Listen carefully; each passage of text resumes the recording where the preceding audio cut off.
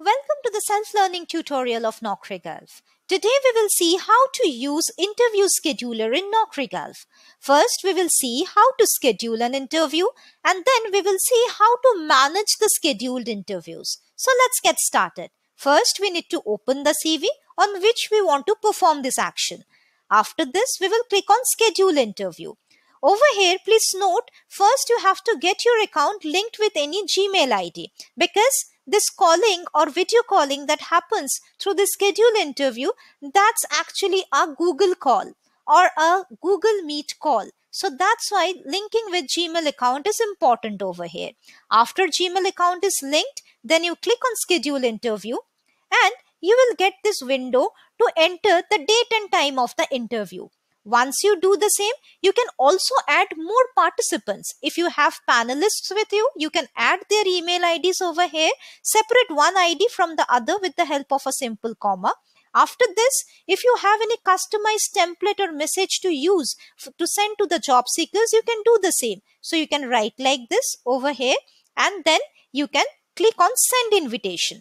After you click on send invitation, the selected participants will receive a prompt from restix at the rate naukrigulf.com with the meeting invite. On the date of the interview, they just simply need to click on the invite and actually join the meeting. After you send this invitation, you will from your account be able to locate the scheduled interviews in the section of interview scheduler over here. So if I now click on interview scheduler, you will get to see the interview that I just scheduled for this candidate. And as a recruiter, every time I do not need to get back to my Gmail account and find the meeting invite. Rather, I can come to interview scheduler and directly click on start interview to start the interview. Once I start the interview, from uh, my end, only I require a proper internet connectivity to continue the interview. Once interviews are scheduled, you can do some more actions. You can just click on the three dots that you see on the extreme right hand side. You can send reminder to the participants for the interview. You can edit the interview details or if required, you can call off the interview by clicking on cancel interview.